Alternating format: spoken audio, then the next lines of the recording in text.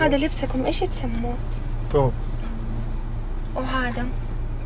असलम दोस्तों उम्मीद करता हूं आप सब खैरियत से होंगे दोस्तों आज की इस वीडियो में इंडिया और सऊदी अरब की कुछ ज़रूरी और बड़ी खबरें आप लोग के साथ में शेयर करने वाला हूं तो वीडियो को पूरा ज़रूर देखें ताकि पूरी जानकारी आप लोगों को मिले।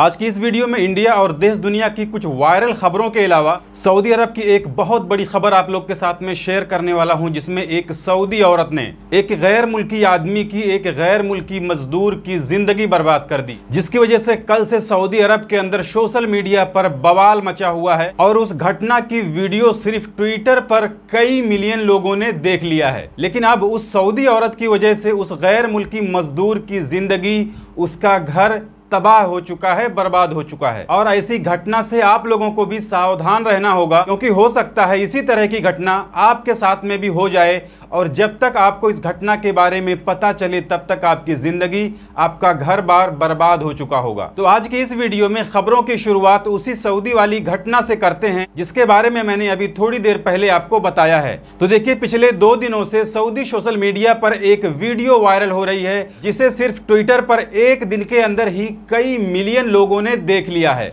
तो पहले आप लोग उस वीडियो की कुछ क्लिप्स देख लीजिए। इस वीडियो ने उस गैर मुल्की की ज़िंदगी बर्बाद कर दी। तो देखिए, कोई सऊदी शहरी, कोई सऊदी गाड़ी वाला सऊदी अरब के अंदर किसी सड़क पर खड़े एक सूदानी आदमी से अपने घर में काम करवाने के लिए उसे अपनी गाड़ी में बिठाकर ले जाता है, लेकिन कुछ दूर आने के बाद में उस गाड़ी वाले को कोई औरत हाथ देती है, जिस वजह से वो गाड़ी वाला रुक जाता है। और फिर वो सऊदी आदमी जो गाड़ी चला रहा है, सूदानी आदमी से कहता है कि मैं इस औरत को भी बिठा लेता हूँ, जिस वजह से ये मुझे 20 रियाल दे देगी, क्योंकि मैं टैक्सी का भी काम करता हूँ। जिस पर सुदानी ने कोई एतराज़ नहीं जताया। सुदानी ने कहा, ठीक है, आप बिठा लीजिए। लेकिन औरत जैसे ही इसकी गाड़ी में आकर के बैठी तो उस सऊदी शहरी को बोली कि मुझे बकाले से, यानी दुकान से, कुछ सामान लाकर दे दीजिए। जिसके बाद में वो सऊदी आदमी गाड़ी से बाहर निकलकर दुकान में चला गया। और फिर शुरू हुई वो नौटंकी, जिस वजह से इस गैर मुल्की की ज़िंदगी बर्बाद हो गई, जिसके बाद में वो सऊदी औरत उस सूदानी आदमी से मीठी मीठी बातें करने लगी। उससे कहने लगी कि मैं अपने हस्बैंड से खुश नहीं हूँ, वो सऊदी अरब के अंदर नहीं रहता है,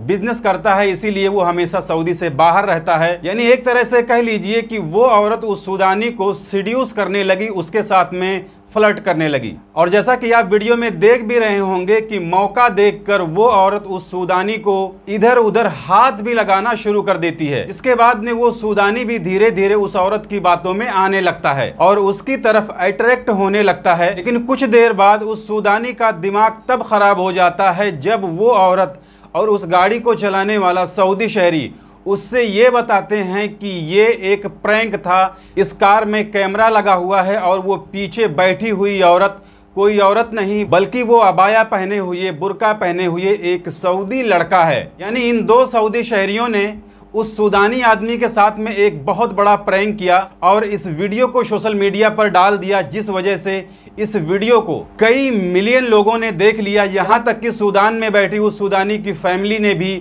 उस वीडियो को देख लिया, जिसके बाद में वो सूदानी बहुत ज़्यादा नाराज़ हुआ और एक दूसरी वीडियो के ज़रिए उसने बताया कि उसकी ज़िंदगी इस वीडियो ने पूरी तरीके से बर्बाद कर दी है।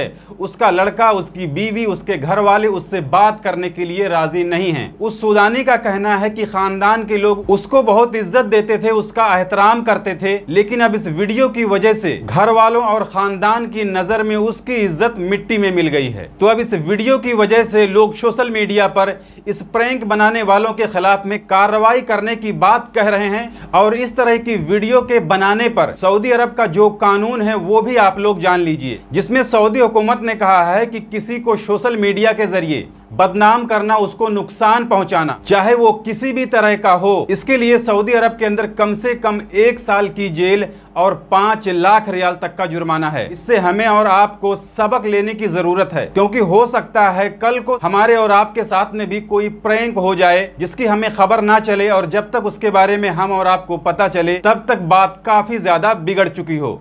इसके अलावा इंडिया, ओडिशा के बालासोर रेल हादसे की एक बहुत बड़ी खबर सामने आई है, जिसमें कुछ गोदी मीडिया वालों को मुस्लिम एंगल मिल गया है। कुछ गोदी मीडिया वाले एक न्यूज़ को काफ़ी ज़ोर शोर से चला रहे हैं कि बालासोर ट्रेन हादसे का मुजरिम जेई यानी जूनियर इंजीनियर आमिर खान अपने परिवार के साथ में फरार हो गया है। इस खबर को कई न्यूज़ चैनलों के चलाने के बाद में, जब इस खबर की सच्चाई जानने के लिए लोगों ने रेलवे से संपर्क किया तो रेलवे के अधिकारी का कहना है कि उन्होंने भी देखा है कि कुछ मीडिया रिपोर्ट में ऐसी खबर बताई गई है कि जूनियर इंजीनियर आमिर खान और उनकी फैमिली फरार हो गए हैं, जबकि इस बात में कोई सच्चाई नहीं है। रेलवे का जितना स्टाफ था, वो अपनी ड्यूटी कर रहा है और वो जिस जगह पर काम कर रहा था, वहाँ पर मौजूद है। इस घटना की सीबीआई जाँच हो रही है और उस जाँच में सीबीआई को ज़रूरत के हिसाब से रेलवे कर्मचारी उनका सहयोग भी कर रहे हैं। लेकिन फिर भी कुछ गोदी मीडिया वाले पता नहीं कहाँ से उन्हें ये खबर मिल गई कि बालासोर ट्रेन हादसे का आरोपी जूनियर इंजीनियर आमिर खान है, जो अपनी फैमिली के साथ में फरार हो चुका है, जबकि रेलवे इस खबर को झूठ बता रही है। इसी तरह से कल बिहार के ढालकोला रेलवे स्टेशन के पास एक और बहुत बड़ा रेल हादसा होते होते बच गया, क्योंकि तो कल वहाँ पर भी एक ट्रेन का इंजन टूट कर ट्रेन से अलग हो गया, यानी वो ट्रेन दो हिस्सों में हो गई। इसमें अच्छी बात यह है कि इसमें किसी भी तरह की कोई दुर्घटना नहीं हुई, और ना ही किसी यात्री को कोई नुकसान पहुँचा नहीं तो हो सकता। गोदी मीडिया इसमें भी कोई मुस्लिम एंगल ढूंढ लेती। तो ये थी इस वीडियो में कुछ ज़रूरी अपडेट जिसे मैंने आपके साथ में शेयर कर दी। जानकारी अच्छी लगी है तो वीडियो को लाइक कर दीजिए।